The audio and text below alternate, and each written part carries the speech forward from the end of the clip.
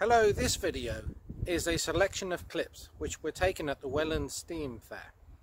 And it's all dedicated to earth moving equipment, diggers, excavators and all that stuff. A nice selection of clips. I think you will find it interesting.